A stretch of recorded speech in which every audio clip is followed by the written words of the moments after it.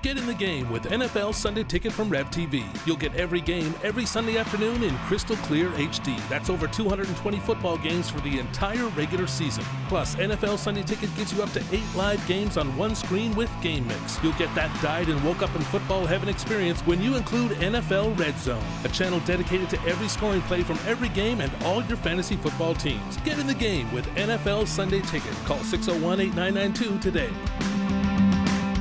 A body found in a submerged car in the Seabreeze Canal.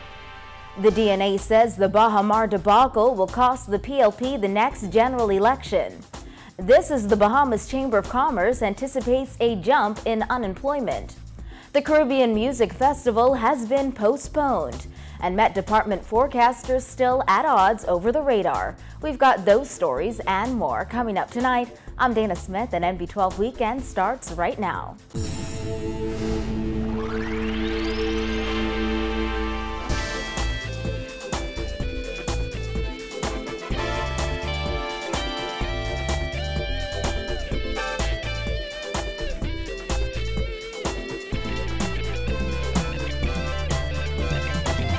Thanks for joining us. Relatives of a man who was reported missing three weeks ago believe he is the person found dead in a submerged vehicle at the Seabreeze Canal this afternoon. Though police say they still need to officially identify the remains, family members of missing 22-year-old Keandre Hanna are convinced the human remains found inside the car are his. Trust me! Love your family.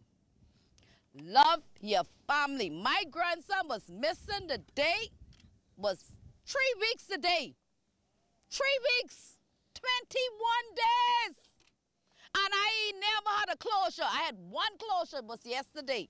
Nobody said nothing. Nobody came around. PLP, FNM and all. Nobody. According to Chief Superintendent Paul Rolle, Defense Force divers discovered the remains inside the car, which according to family members at the scene belonged to Keandre Hanna. We retrieved a vehicle from the canal uh, that upon examination we found some what we believe to be human remains on the on the inside.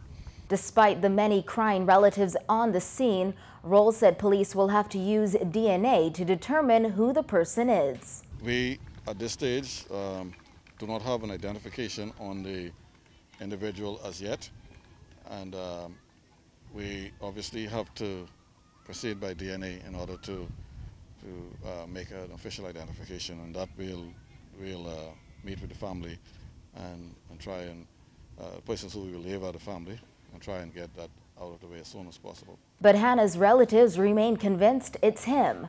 According to the family, he went missing on October 11th, and ever since that day, they've been searching frantically for him. I put it up.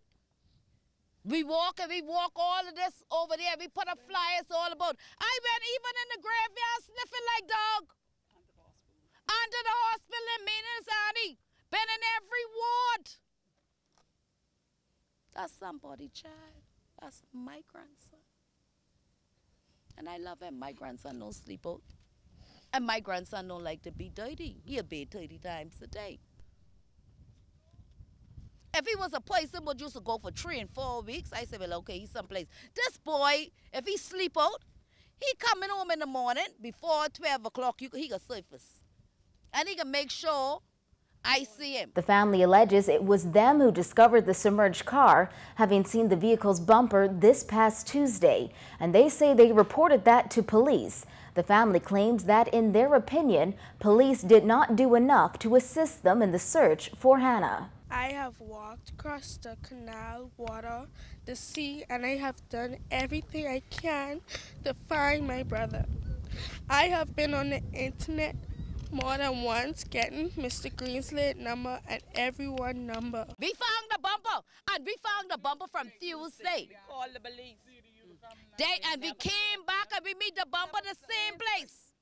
His brother find his bumper. Could you imagine that, Bahamas? Superintendent Rolle said he's aware of the family's concerns, but right now he's more focused on what could be another murder investigation. What I, I'm going to ask the family to do is uh, this to cooperate with the police. If this is in fact their loved ones, this is not the time to to be throwing stones. They're free to make their observations, and I'm not going to get into any argument with the family. I have an investigation to conduct, which is a possible murder, and uh, that's my big concern right now. Uh, we want to find out who this person is and how he came by his injuries. With the murder count continuing to creep to record levels, former Free National Movement Senator Dr. Duane Sands says it's time to stop playing the blame game. I think we're deceiving ourselves to believe that the problem is not bad.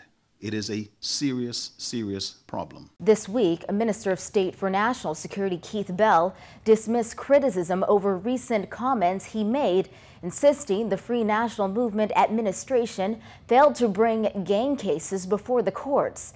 FNM Chairman Michael Pintard said Bell's comments were unfortunate and called for Bell to be fired. Sands says assigning blame is only a distraction. As opposed to trying to assign blame, as was unfortunately done in the uh, upper house by the junior minister for national security, uh, what we ought to be doing is to acknowledge that this truly requires bipartisan, multi-partisan efforts.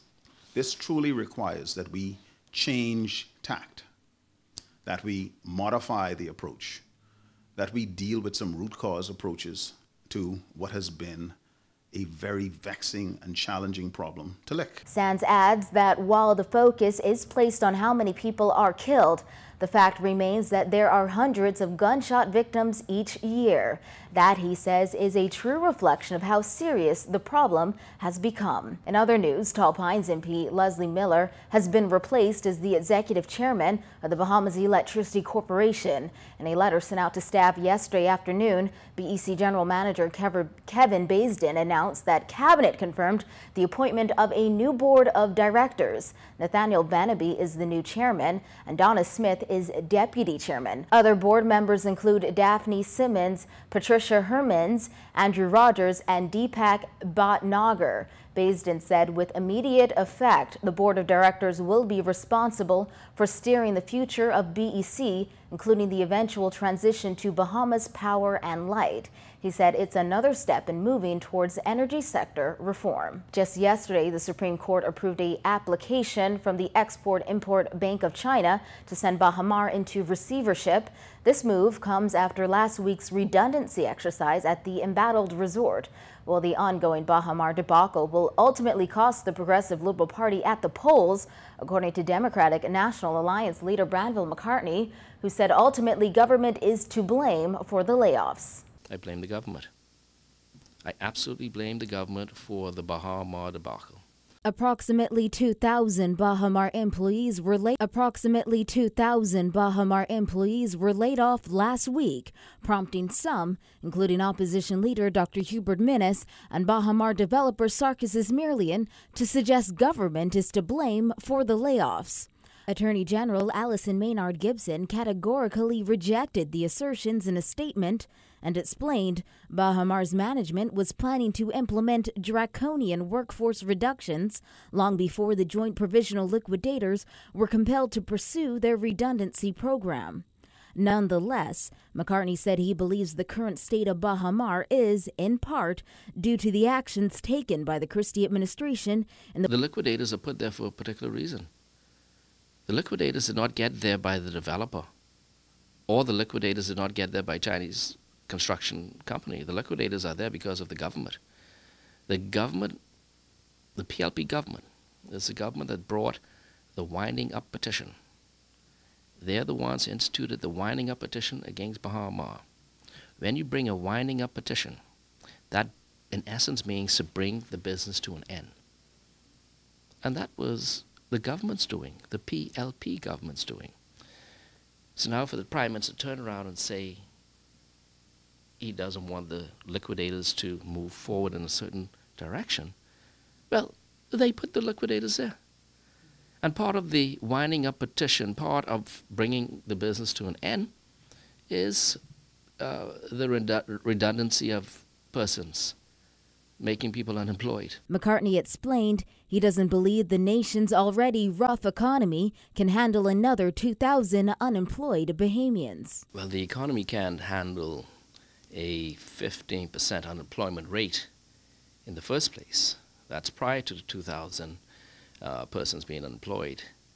And the 35% unemployment rate for persons between the ages of 18 and 35. That's what it is. So we are, unemployment is, is at a stage where it's unacceptable and certainly it is a very, very serious concern. Given the property's current state, McCartney said he doesn't see it opening until after the next general election, where the next government will have to deal with the issue, and he's confident that government will not be the PLP.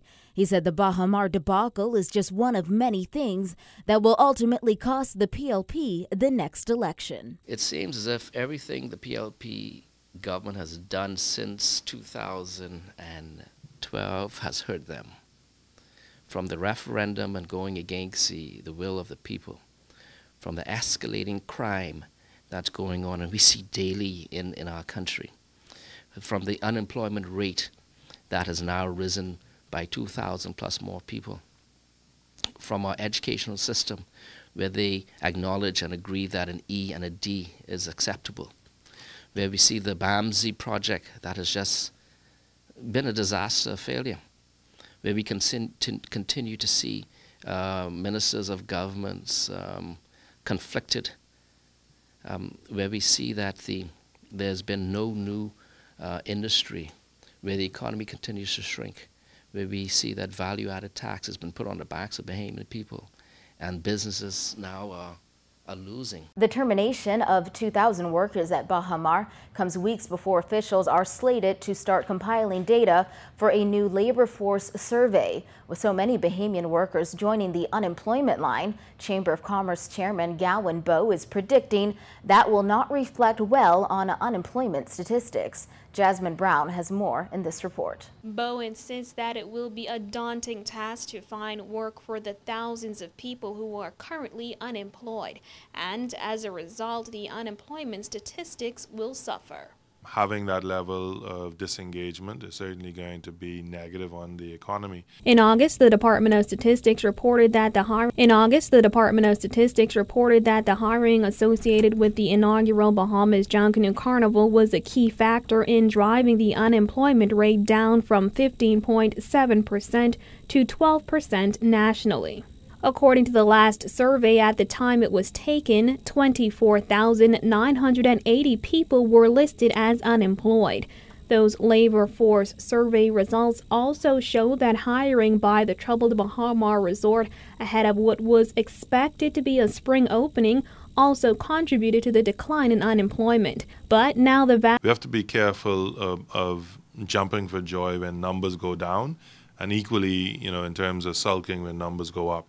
Still, Bowe says there is a silver lining as those Baha Mar workers are now much more qualified due to the training they received. What we are hoping for is these persons are truly the most employable individuals in the country. And when I say that, the positive side, um, in terms of you know having to go through so many um, individuals applying, um, effectively drilling that down to a core group that is deemed to be capable of providing the high level service that the, the establishment wanted to do went through customer service, orientation uh, with a tourism product. But those should be right now the cream of the crop in the sense that they've been through some um, form of training and they should be able to present themselves in an organized manner in order to take advantage of those things coming on stream. Bowe says over the next few months, the Chamber plans to host job fairs to assist the unemployed.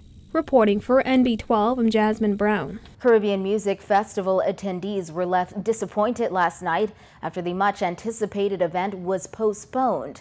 In a statement released yesterday, officials said the remainder of the festival was put off because of insurmountable logistical difficulties. And music fans weren't the only ones left upset by the sudden change of plans. Food vendors who say they spent precious time and money preparing to sell their wares are outraged, claiming they lost money. One vendor said she spent days and a lot of money to prepare food to sell at the event, but because of its postponement, she said she failed to make a profit. I'm so disappointed right now. I hope they, ref- yes, they're gonna refund me back for what I pay, but for all the goods, I want to know if I'm gonna get a reimbursement for that too. What did you bring out here to sell? Wings and fries, macaroni and cheese, fish, conch, fritters, burgers, curry chicken, a lot of different stuff. How much did you spend on all of that? I spent over, I can't even think straight right now. But it was a lot of money. Yes, it is. How much money have you made back of that?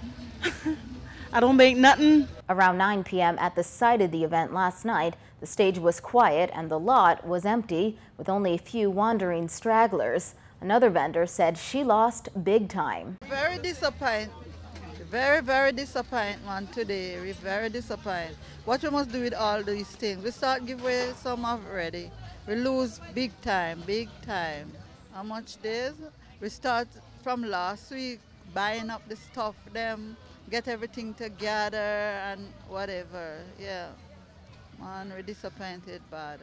However, not everyone was worried. Another vendor said despite the circumstances, she still managed to make some money selling food to passerbys. Everything, everything is not always perfect. Some things happen, and so we have to accept what happened. And later is greater. We have disappointment now. That's okay. Did you spend a lot of money to make it out here, and did you make any of that money back? But put it this way: I spend, and I'm making it. Okay? So if you just relax for a while, people is coming. They already already told people that we are still here. They came and they, they are going to be patronizing us, and that's what you see going on here. Other vendors said event organizers spoke to them about possible reimbursement. One man said he's not concerned as organizers have given him certain assurances. And they have spoken to us, so we, we understand. Uh, we're looking forward to what they said to us, and we'll deal with it professionally because, you know, we've been dealing with the vendor business for quite some time now. And they give us the assurance. So we'll deal with that, God spare life, on probably Tuesday. And they is the concert organizer? Yeah, we are comfortable. In the statement, festival organizers assured the public that full restitution will be made on ticket purchases and vendors will be refunded fees paid and all contractual obligations will be met. They added that as soon as discussions are concluded with all strategic and interested partners, another date for the resumption of the festival will be announced. When NB12 returns, the former Deputy Prime Minister weighs in on Baha Mar. He says everyone is to blame. Stay with us.